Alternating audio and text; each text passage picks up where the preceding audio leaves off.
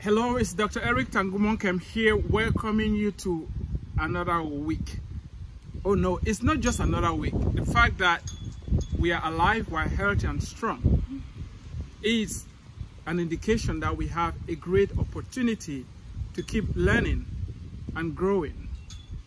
We have to learn to make the most of each moment of each day of each week.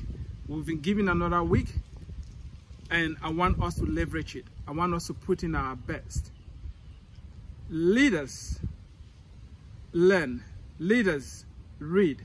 You need to learn to read. It's very important. Don't just focus on the grade you're going to get in the class.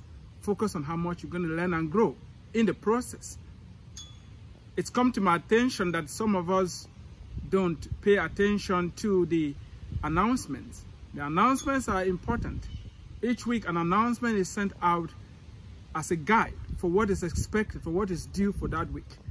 Read through the announcement carefully, pay attention, and if anything is not clear, get back to me immediately so that we can start the week on a good footing and end it strong.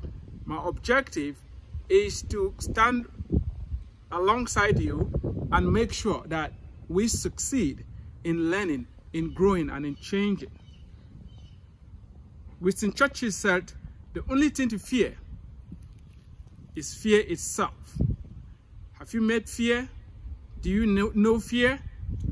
What he's saying is that don't let anything, anything frighten you.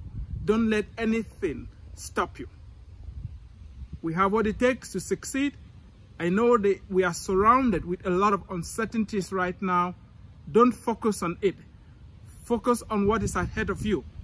Focus on your work. Keep reading. It may be boring to stay at home, but this is an opportunity to read that extra book. This is an opportunity to develop yourself, to grow. Be strong, be healthy, follow the health guidelines, maintain your social distance, make sure you are incorporating some exercises in your routine. Thank you for watching. Let's make it a fantastic week.